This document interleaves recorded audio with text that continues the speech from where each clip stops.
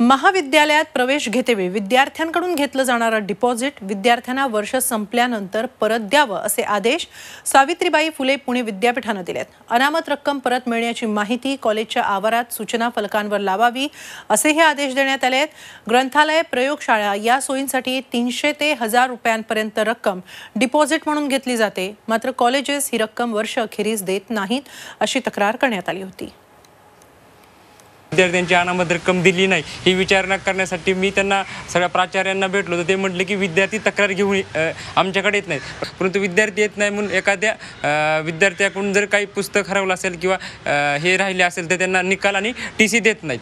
अशा प्रकारे तुम्ही जर त्यांची फी जर घेऊन डेव्हलपमेंट किंवा इतर खर्चासाठी ती वापरत असेल तर हे कुठेतरी चूक आहे आणि यासाठी मी कुलगुरूंना जाब विचारला.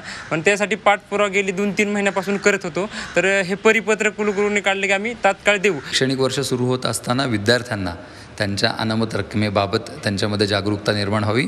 त्यांना कळावं की त्यांची अनामत रक्कम ही वर्षाच्या शेवटी अभ्यासक्रम त्यांचा संपल्यानंतर त्यांना परत मिळते आणि आता शैक्षणिक वर्ष सुरू होत आहे.